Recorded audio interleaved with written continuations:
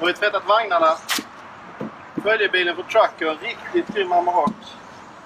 Golfen, också nytvättad. Imorgon 07.30 kör vi. Det blir en lång resa. Man följer oss på bloggen. Nej.